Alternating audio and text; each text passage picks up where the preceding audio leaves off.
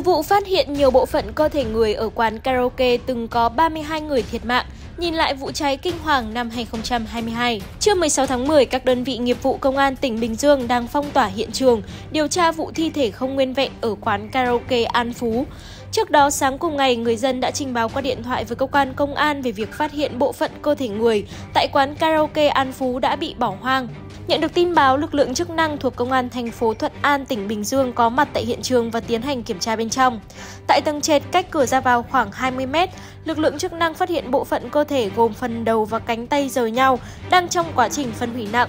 Ngay sau đó, hiện trường được phong tỏa để phục vụ cho công tác khám nghiệm. Cơ quan công an thành phố Thuận An đang khẩn trương tiến hành thu thập chứng cứ và điều tra nhằm xác minh danh tính của nạn nhân cũng như làm rõ nguyên nhân vụ việc.